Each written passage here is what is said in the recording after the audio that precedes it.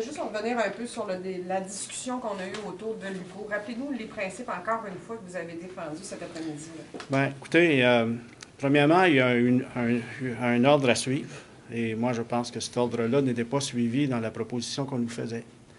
Euh, je pense que euh, j'aime bien, moi, voir un plan d'affaires. J'aime bien voir une proposition concrète avant de m'engager sur des montants. Euh, quand on fait un appel d'offres, on n'a pas le montant dans l'appel d'offres, bien, la même chose ici. Euh, puis, euh, une autre chose, c'est que moi, j'ai besoin d'être convaincu qu'on n'est pas en train d'investir des argents dans des champs, de compétences provinciaux. Puis, cette conviction-là, je ne l'avais pas aujourd'hui. Donc, c'est un, ensemble de, facteurs.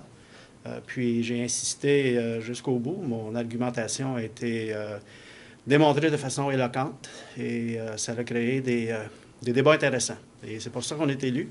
On est élu pour euh, s'assurer que les dépenses euh, les dépenses municipales sont faites euh, aux bons endroits et pour les bonnes raisons. Et le maire n'avait pas réussi à me convaincre.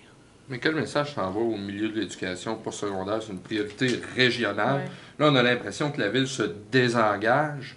Quel message s'envoie au milieu de l'éducation? Si c'est ça que vous avez compris, là, vous n'avez pas compris le message. On n'est pas en train de se désengager.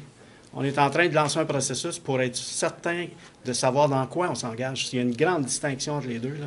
Et, euh, et, euh, moi, je continue à croire que c'est la bonne priorité. Là. C'est juste de savoir comment on va s'y rendre à, à réaliser les objectifs qu'on se donne. Et moi, je pense qu'on a mis à charlie devant les bœufs.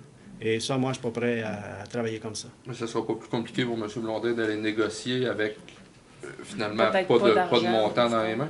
Euh, M. Blondin, il fera ses devoirs, là, puis il nous reviendra avec une proposition.